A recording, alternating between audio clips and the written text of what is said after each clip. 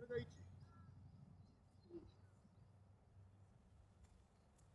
握れないでしょ。これがいいんです。握れないのがいい。握れないのがいいです。握ったら人間ってコントロールしちゃうんです。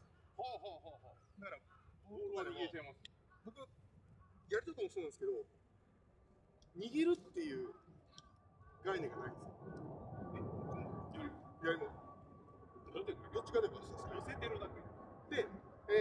つの方向にだけ強ければいい。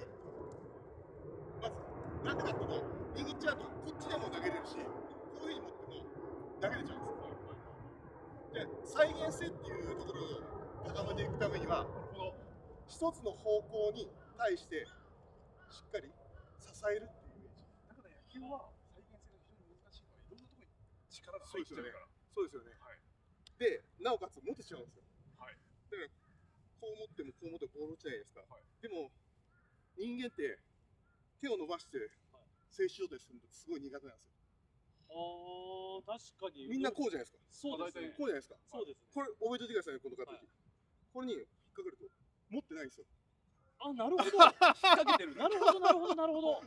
これがまず基本だと思うんですよ。握ってないですね。持つと末端で操作しやすいんですよ。なるほど。持っちゃいけない。もう自然とこの。自然体のる。いかにこう自然体でいるか。これここ刑事とかにもよく言うんですけど、これって持ってる？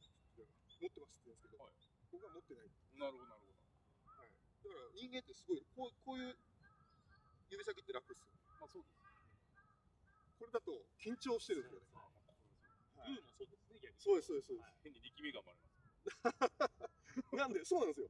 でそういったところをちょっとした意識で置いとくと全然動き変わっ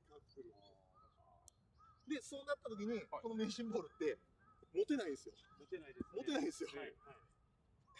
バスケットボール選手がやったら持てるかもしれないですけど、この2キロっていうものって持てないからこそ価値があるトレーニング道具。じゃあどうするかっていうと、この重さを全身で感じるってことができるんですよ。まずはい、はい。これを持っちゃうと腕が。腕が感じます。だからさっき言ったように腕がいかにしっかり触れるようにすればいいかの話なんで、なるほど。はい、やり投げの世界だと、はい。